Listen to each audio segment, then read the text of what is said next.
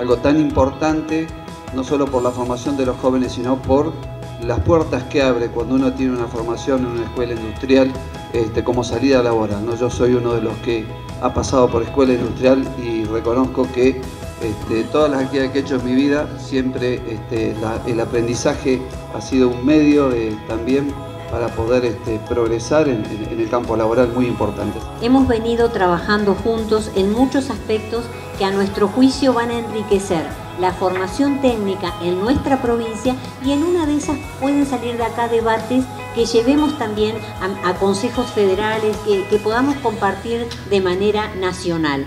Anunciando eh, una mesa de innovación, que, donde cual van a salir varios proyectos. Uno es un convenio que hicimos con la empresa Cisco, en el cual INET se convierte en una academia Cisco para trabajar con todas las provincias del país, empezando en Río Negro, en ofrecer cursos y formación profesional relacionados con el mundo de la informática. Estamos construyendo sobre los logros de los últimos años, a partir de la ley del 2005. Se ha revitalizado mucho la educación técnico-profesional en la Argentina. Estamos construyendo sobre esos logros, sobre la gran inversión que se ha hecho en los últimos años. Estamos siguiendo eh, invirtiendo en infraestructura, en equipamiento, pero queremos trabajar en algunos temas nuevos, como la conexión con el mundo del trabajo, como la graduación de los chicos, que sigue siendo muy baja, y con la revitalización de los técnicos superiores, de los terciarios, como alternativa de excelencia a la universidad en Argentina.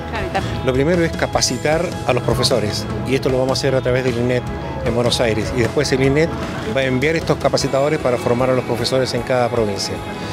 Y los cursos básicamente están todos orientados a tecnología, que tengan una fácil salida laboral.